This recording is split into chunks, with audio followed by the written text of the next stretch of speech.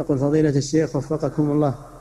السفر لرؤية المسجد الأموي ليس بقصد العبادة بل من باب السياحة ورؤية الآثار. ما حكم هذا العمل؟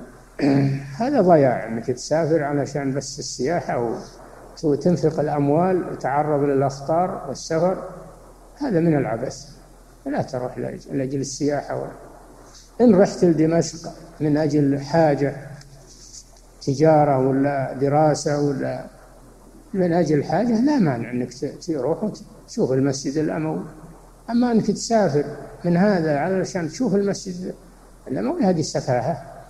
وضياع للمال وتعرض للأخطار وهو أيضا وسيلة إلى الغلو لأن إذا رآك العوام ورآك الناس ظنوا أن المسجد الأموي أنه مثل المساجد الثلاثة يسافر إليه. نعم.